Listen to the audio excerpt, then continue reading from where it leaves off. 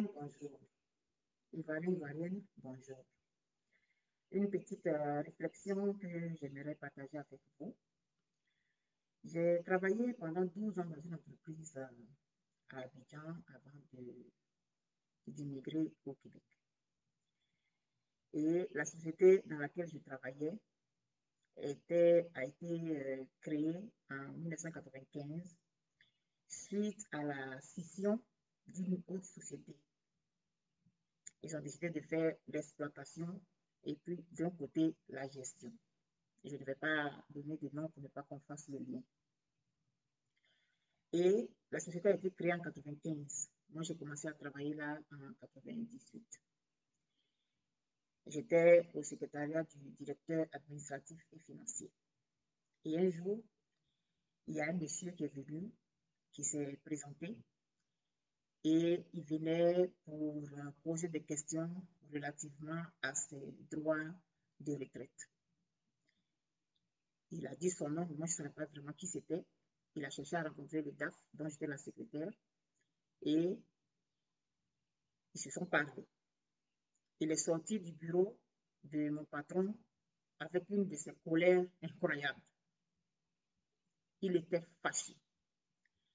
Et il a... Mon téléphone est au maximum. Il était fâché et il est sorti du bureau en colère, comme je disais. Il est sorti et puis il est revenu s'asseoir au secrétariat, comme pour se calmer. Bon, moi, je ne savais pas de quoi il était question, je ne pouvais pas trop euh, trop lui demander, puis je n'étais pas familière à lui, je ne le connaissais même pas, son nom ne me disait rien. Or, ce monsieur, il a commencé dans la gestion de l'entreprise. C'est-à-dire, ils sont venus de l'ancienne entreprise, une partie du personnel est venue de l'ancienne entreprise pour créer cette nouvelle entreprise-là. Et lui, il faisait partie des dirigeants. Je pense qu'il était le directeur général ou bien le directeur administratif et financier. Donc, c'est lui qui s'occupait de tout ce qui est administratif, bien sûr, les affaires de retraite, les salaires et tout ça. Et pendant qu'il était, pendant qu'il dirigeait aussi, il y avait des gens avant lui, c'est-à-dire que dès qu'ils ont, ils ont, Erika, s'il plaît. Erika. Excusez-moi, ils ont ma fille qui joue de la musique.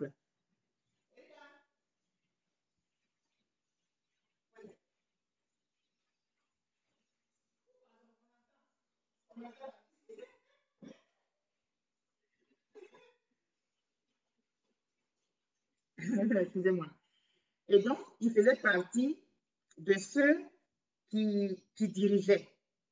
Et quand ils, sont arrivés dans cette nouvelle entreprise, en ce moment, je n'étais pas encore là, ça c'est dans les années 95, là, quand ils venaient juste de commencer, ceux qui sont venus avec eux de, l'ancienne entreprise, euh, il y en avait qui étaient prêts à aller à la retraite.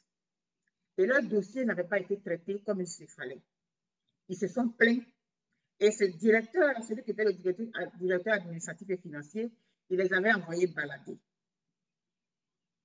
Ils se sont débrouillés tout seuls parce qu'ils passaient de la CGRAE à la CNPS. Et ce pont-là, ce n'était pas facile. Il y avait des avantages dans l'un ou l'autre partie. Ça n'a pas été clarifié. Et ils n'ont jamais eu de solution à leurs problèmes. Ce DAF-là, ce directeur administratif et financier, n'avait pas le temps pour s'occuper de ça. Ils venaient d'arriver dans la nouvelle entreprise, donc ils avaient des avantages. Il y avait beaucoup d'avantages dans cette entreprise-là, plus que là où ils étaient avant. Et dans l'ancienne entreprise où ils étaient, ils n'étaient pas DAF là-bas, ils étaient juste un employé, un comptable. Et quand ils sont arrivés dans la nouvelle entreprise, il y avait beaucoup d'avantages, beaucoup, beaucoup, beaucoup de, belles choses. Et donc, ça n'intéressait pas de régler le problème de ces, de ces employés-là qui devaient aller à la retraite. Et ça traînait, ils se sont débrouillés jusqu'à, je ne sais pas comment est-ce que c'est fini, mais ça n'a pas été réglé. Ils sont allés à la retraite comme ça. C'est authentique. Et les années passant très vite, 95, 96, 97, monsieur, c'était à son tour d'aller à la retraite parce qu'il avait un certain âge quand il, venait dans la nouvelle entreprise. C'était à son tour maintenant d'aller à la retraite. Quand moi, je suis arrivé en, février, euh, j'ai fait mon, ma période d'essai de février à mai et j'ai été embauché. Lui, il a pris sa retraite juste avant la fin de l'année, je crois en décembre 97. Et maintenant, il devait faire ses papiers pour pouvoir bénéficier de la retraite. passer de CGRAE à CNPS. À la CNPS, il y avait plus d'avantages que être à la CGRAE. Et c'est ce que ces employés passés-là avaient suggéré. Mettez-nous à la CNPS, comme ça on va bénéficier. Le petit temps qu'on a travaillé, ça va nous donner des avantages. Il avait fait la sourde oreille parce qu'il n'était pas concerné, ça ne l'intéressait pas. Maintenant qu'il a pris sa retraite deux ans après, il était confronté à la situation que les autres avaient dénoncée pendant qu'il était le DAF, c'est-à-dire le directeur administratif et financier. Ah, mais j'ai posé mon téléphone comme habituellement. Ah, je je suis désolée si vous ne m'entendez pas bien. Il y a quelqu'un qui me dit que la voix est un peu nasillarde. Bon. Je ne sais pas. Quand j'ai placé mon téléphone comme je le place habituellement, c'est les, mêmes affaires que toujours. Euh, je suis désolée. Je suis désolée que vous ne m'entendiez pas. Ça ne donne rien de continuer si vous ne m'entendez pas. En tout cas. Et donc, il, est il arrive à la retraite, il doit aller déposer ses dossiers, il ne sait pas où les déposer. Il se souvient maintenant de ce que les autres employés lui avaient dit. Il veut aller à la CNPS. Or, il n'y a, pas eu de, a pas jurisprudence. Il n'y a personne qui, avait eu à bénéficier de ce pont-là. Comment il fait? Il vient maintenant euh, rencontrer le DAF qui, qui l'avait remplacé. En ce moment-là, nous, j'étais maintenant au secrétariat. Il rencontre le monsieur. Le monsieur lui dit, mais je ne sais pas comment on va régler ça parce que euh, ceux avant vous, ceux qui, sont, ceux qui sont allés à la retraite avant vous, il a fait sortir les papiers, ceux qui sont allés à la retraite avant vous, ils n'ont pas bénéficié de ça. Mais je ne sais pas comment est-ce que, que, je peux faire ça. Il n'y a pas eu déjà euh, des choses qui avaient déjà été faites pour que je puisse prendre exemple dessus. Donc vraiment, je suis désolée. Vous avez bénéficié de la retraite de la CGRAE. Le monsieur était fâché. Il est sorti du, bureau du patron. Il est, venu, il est sorti d'abord et il est revenu s'asseoir à mon secrétariat pour, euh, pour respirer, je ne sais pas, ma grosse narine, mais je ne sais pas quoi dire. Moi, je ne sais pas de quoi il était question et ce n'était pas mon, mon, travail de lui demander ce qui se passait. Donc, il a respiré un peu jusqu'à, et puis maintenant, il m'explique ça. Il me dit, ah, mais vraiment, moi, j'étais directeur administratif et financier ici. J'ai servi la Côte d'Ivoire. Je ne comprends pas que maintenant que moi je vais à la retraite, je ne suis pas capable de bénéficier des, retombées de mon travail. Donc a commencé à expliquer, expliquer. Moi, secrétaire, je vais dire quoi dans ça? Je ne suis pas DAF. Non, je l'écoute un moment et puis je vois qu'il veut que je dise quelque chose. Je dis, mais monsieur, euh, mais, mais avant vous, parce que moi je ne savais pas ce que mon patron avait dit. Hein. J'ai dit, mais avant, avant vous, il n'y avait pas eu avait pas eu d'autres personnes qui avaient déjà fait ça. Il dit, mais oui, oui, mais, mais quand même, euh, euh, quand même, j'étais DAF, j'étais directeur administratif et financier, j'ai eu le grade, je ne sais pas, il a dit son grade ou quelque chose comme ça, échelon 52 ou quoi, là, j'ai eu ça, donc je dois bénéficier des avantages. Être à la CNPS, c'est un avantage pour moi. Hein? Je ne veux pas rester à la CGRAE, jamais je n'accepterai ça.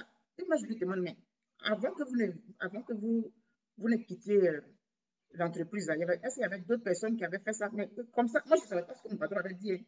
Mais pour moi, c'était assez logique. Je dis, mais regardez les, anciens, là, ce, qu'ils avaient déjà fait là. Prenez l'exemple dessus pour pouvoir faire les nouveaux. Je dis, mais ça n'a pas été fait. Puis j'ai dit, euh, mais c'était vous le DAF Il dit oui. Je dis, ah, mais pourquoi vous ne l'avez pas fait? Il me regarde. Non, ça, ça, ça, ne se passera pas comme ça. Et puis il sort du bureau, il sort. Il a crié, donc mon patron est sorti, puis il m'a trouvé, il dit, mais, dit, ah, mais le monsieur là, c'est qui? Me dit son nom ben, ça, je sais, je sais pas ce qu'il m'explique. Et voilà, il était, directeur administratif et financier ici quand la société est de tel à tel.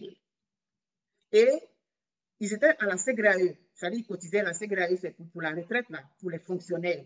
Ils, étaient, en ce moment-là, ils, ils, cotisaient à la CGRAE. Et maintenant, ils sont arrivés dans cette nouvelle entreprise. Cette entreprise-là a décidé de, traiter ses fonctionnaires, ses, employés comme dans le privé, même si c'était une société d'État. Donc, vous, vous avez cotisé à la CNPS. C'est-à-dire que moi, nous, autres, là, les nouveaux, là, on cotise à la CNPS. Mais les anciens, là, ils étaient à la CGRAE. Et il y en a encore qui continuent de cotiser à la CGRAE. Et pendant qu'il était le DAF, ceux qui sont allés à la retraite avant lui, qui étaient venus de l'ancienne entreprise, avaient posé le problème.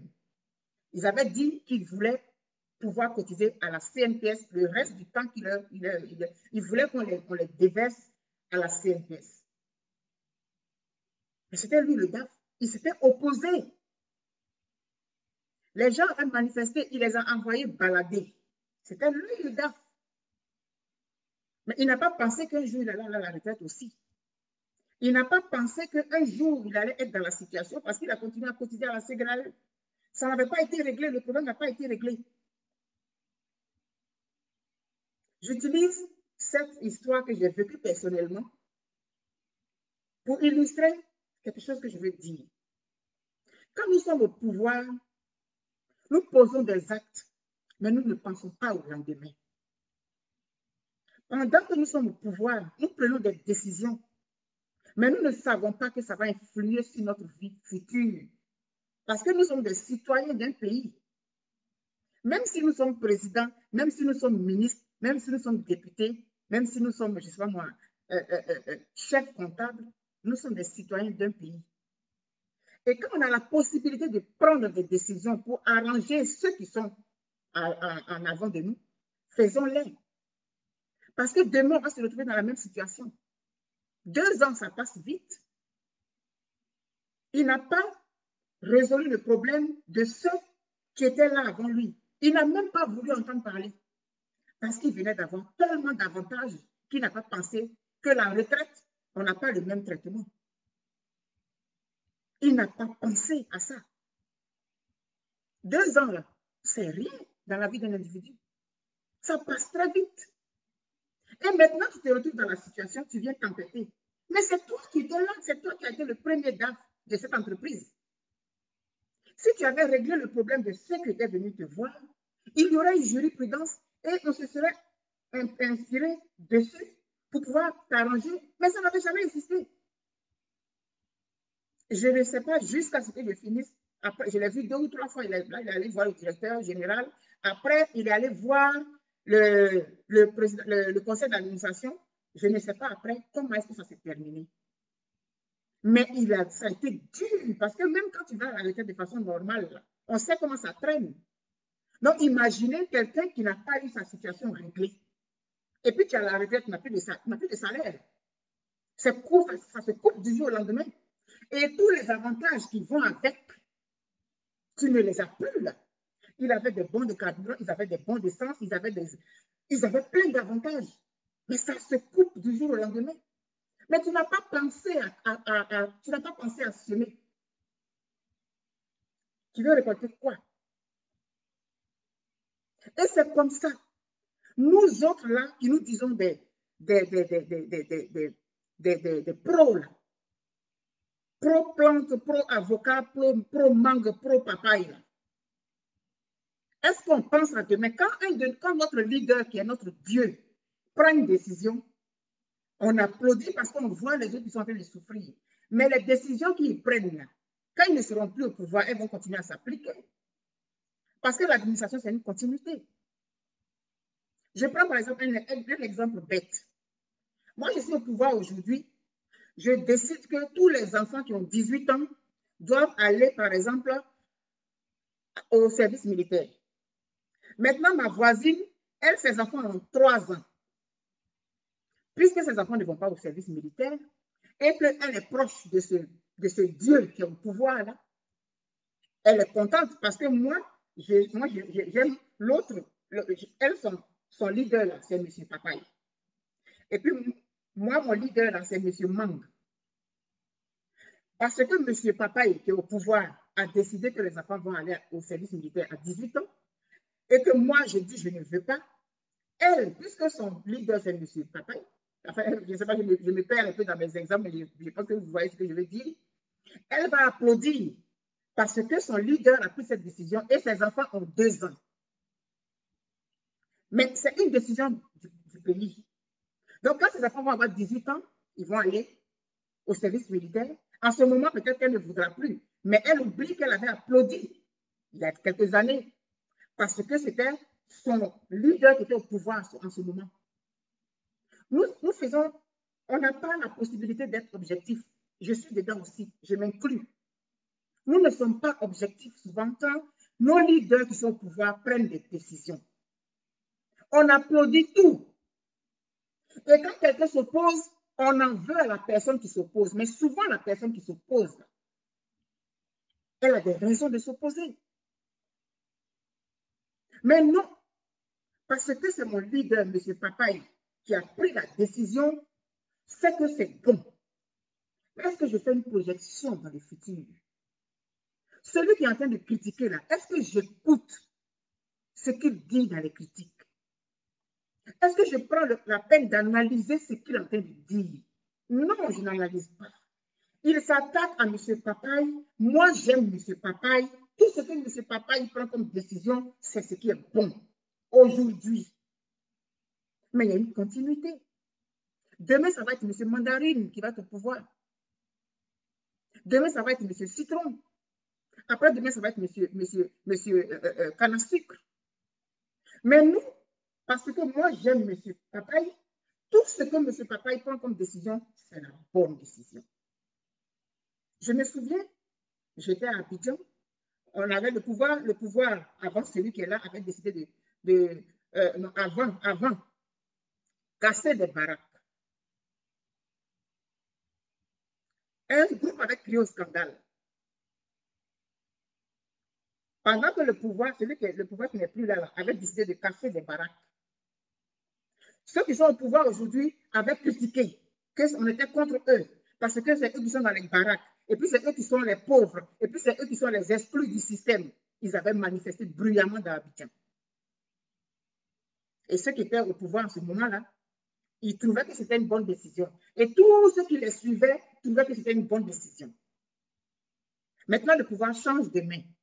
Ceux qui sont au pouvoir aujourd'hui, ils font ce, que les autres faisaient. Et maintenant, ceux qui ne sont plus au pouvoir, ils critiquent ce qu'eux-mêmes ils ont fait en son temps. Mais on ne va jamais avancer avec cet esprit. Je me rappelle de ces baraques qui avaient été cassées. Même au temps de l'avant, la, le, le, pouvoir avant, avant, avant avec l'affaire du quartier Boisbourg et tout. Des gens avaient crié au scandale. Avant que l'autre, je ne dis pas de nom, je n'ai pas envie de prononcer des noms aujourd'hui. C'est juste, je n'ai pas envie. Le pouvoir d'avant, avant, avec le problème du quartier Boisbourg, Washington, quelque chose comme ça, on avait euh, euh, expulsé les gens, on a construit un quartier pour les mettre. Le pouvoir qui est venu après avait critiqué ça. Parce qu'eux, ils n'étaient pas au pouvoir. Ils ont critiqué ça. Maintenant, après qu'ils sont passés au pouvoir, ils ont vu qu'on est obligé de casser souvent des baraques.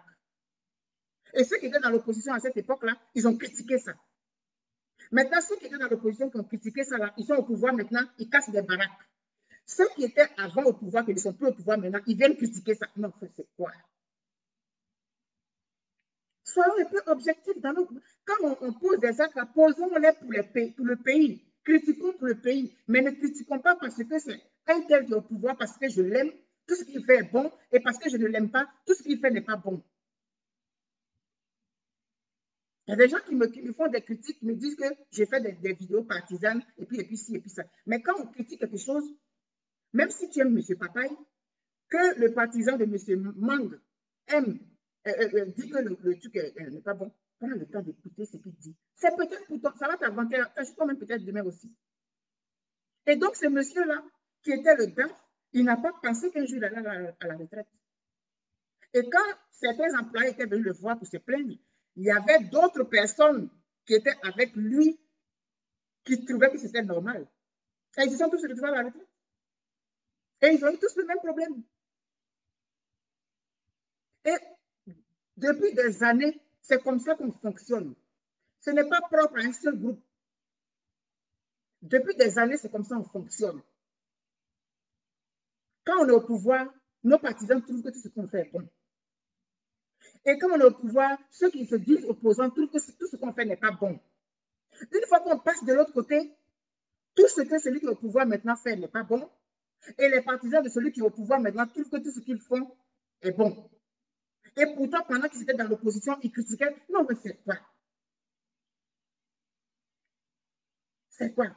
On est comme, je ne sais pas moi, ayons un peu d'objectivité dans nos critiques. Même quand on critique, prenez le temps d'écouter. C'est pas parce qu'on est partisan de tel ou de tel ou de tel que tout ce qu'on dit est forcément dirigé contre la gestion de la personne. On aime notre pays. on peut critiquer les choses qui se passent dans notre pays parce qu'on pense à demain. Les décisions qui sont prises aujourd'hui, là, et puis vous applaudissez, et puis nous autres, on dit, on critique, là. Et puis vous, vous, vous, vous vos hégémonies, là. Mais demain, elles vont s'appliquer à vous. Parce que c'est une continuité. Parce que c'est une continuité. Pensez à demain quand vous prenez des décisions. Pensons à demain quand on critique. Parce que c'est depuis, ça a toujours été comme ça. Donc ça continue. Et à un moment donné, il faut qu'il y ait une rupture. À un moment donné, il faut qu'il y ait une rupture. Qu'on critique de façon objective. Qu'on accepte les critiques et qu'on analyse les critiques que les autres font. Mais qu'on ne se braque pas tout de suite parce que c'est notre M. Papaye qui est au pouvoir. Parce que j'aime M. Papaye, on ne doit pas critiquer M. Papaye. Tout ce que M. Papaye fait est vrai et juste. Donc toi qui viens critiquer là, c'est parce que tu es contre M. Papaye. Non. Il y a des gens qui critiquent, il y a des gens qui prennent le temps d'analyser et puis qui font des projections dans le futur. On a décidé aujourd'hui de descendre la moyenne de passage en classe supérieure. C'est un exemple que je donne. On dit, par exemple, aujourd'hui, ce gouvernement qui est au pouvoir, c'est un gouvernement quelconque. Il dit, euh, Monsieur Papa au pouvoir, il dit, bon, à partir de maintenant, tous les enfants vont passer en classe supérieure à partir de 4 de moyenne. Alors qu'avant, c'était par exemple 9 ou bien 10. Et puis moi, je viens, je dis, mais non, ce n'est pas normal. Ce n'est pas normal qu'on fasse passer les enfants à 4 de moyenne. Devant là-bas, ça va, ça va créer un problème. Tous ceux qui sont partisans vont trouver que ce que je raconte, c'est des histoires. Mais vos enfants sont dedans aussi ils vont passer avec 4 de moyenne. Et dans 10 ans, on va se retrouver dans un boulot d'étranglement. Parce que les enfants n'auront pas les informations nécessaires pour être des adultes accomplis ou bien pour être des intellectuels accomplis. On va s'en prendre à qui? C'est maintenant celui qui sera au pouvoir en ce moment-là qui va subir les conséquences des décisions qui ont été prises il y a 10 ans, ou il y a 5 ans, ou il y a 20 ans. Et on ne va pas faire, faire auto-rétrospection euh, pour voir quelles sont les décisions qui ont été Parce que les décisions, elles sont prises depuis longtemps. Et puis, leurs conséquences, on les retrouve souvent 5 ans après, 10 ans après. Mais pendant que tu applaudissais, là, parce que ton, ton leader était au pouvoir, ton Dieu était au pouvoir, tu applaudissais là. Dix ans plus tard, les conséquences s'appliquent. Tu fais quoi? Tu vas critiquer maintenant celui qui est au pouvoir en ce moment, or tu oublies que tu avais applaudi cette décision-là il y a longtemps. Les décisions qu'on prend, que les gens prennent, ça ne s'applique pas souvent dans l'immédiat. Les répercussions ou les conséquences ou les, résultats, on les, voit souvent dix ans après. Parce qu'il y a une génération d'enfants qui est à l'école primaire, qu'on va faire passer à 4 de moyenne en 2020, par exemple.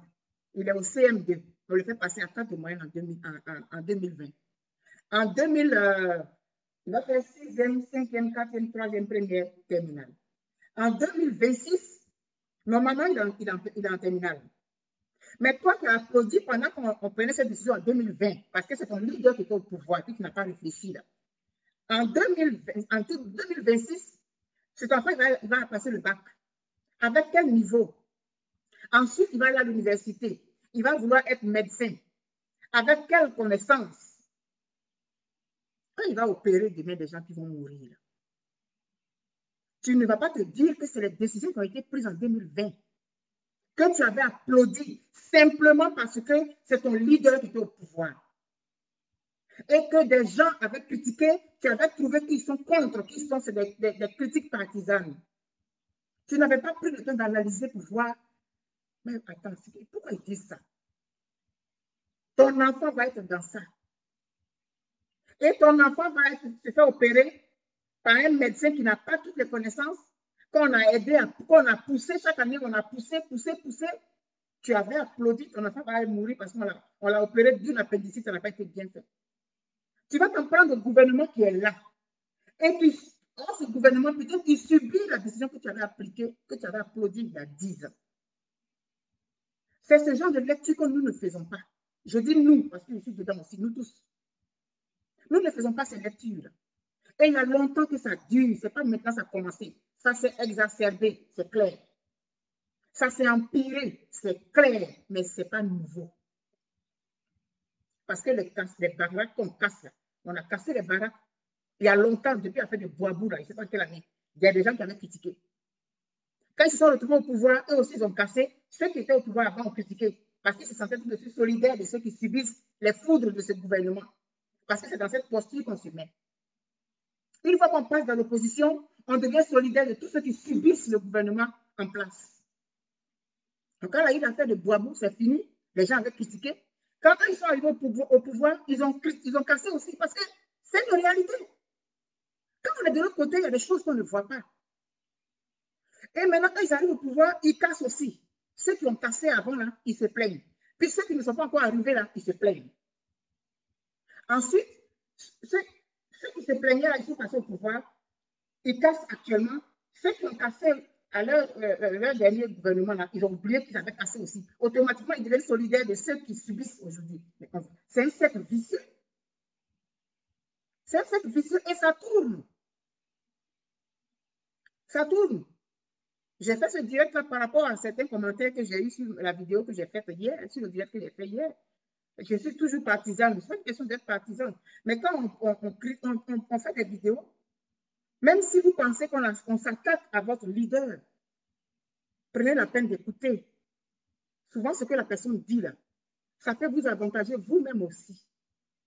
Parce que toutes les décisions que le gouvernement prend ne sont pas nécessairement bonnes dans le moyen ou dans le long terme pour nous. Pensez à ce monsieur dont j'ai parlé. Il était DAF. Il n'a pas voulu régler le problème de ceux qui sont allés à la retraite avant lui parce qu'il avait tellement d'avantages, il ne pensait pas que ça allait finir un jour. Et il se retrouve à la retraite. Il n'y a pas eu de jurisprudence. Il n'y a pas eu de solution qu'il a apportée qu'on pouvait utiliser pour, pour, lui permettre d'en bénéficier. Je ne sais pas comment ça s'est terminé, mais il a défilé et je ne sais pas comment ça s'est terminé. Et j'ai pris ça pour illustrer ce que je veux dire. Quand nous sommes au pouvoir, nous prenons des décisions. Pensons à demain. Pensons à nous-mêmes demain parce que ça va nous attendre devant. Parce que la route de la vie, elle tourne. Notre leader au pouvoir aujourd'hui, il pose des actes. Écoutons ceux qui critiquent. On est capable de faire la part des choses. Mais n'applaudissons pas toutes les décisions qu'il prend parce qu'il est notre leader et qu'il est au pouvoir. Parce que le pouvoir n'est pas éternel. Ce que nous applaudissons aujourd'hui, ça peut nous rattraper demain. Et malheureusement, c'est celui qui est au pouvoir qui va payer les pots, cassés parce que la décision avait été prise en amont. Je vous souhaite une très bonne journée. Réfléchissons à nos façons de faire et pensons toujours d'abord au bien de nos populations si on est au pouvoir, même qu'on est tout puissant, que des gens viennent nous soumettre des doléances, écoutons bien les doléances, traitons-les avec la possibilité que nous avons. Sinon, demain, on va se retrouver dans la même situation que le DAF de l'entreprise où j'ai travaillé. Bonne journée à vous. Je vous aime très fort. La réflexion, elle continue. Pourquoi on fasse un effort de, de mettre un peu d'eau dans notre vin et changer notre façon, notre, notre façon de voir les choses. Gros bisous à vous. Bye bye. Je vous aime très fort.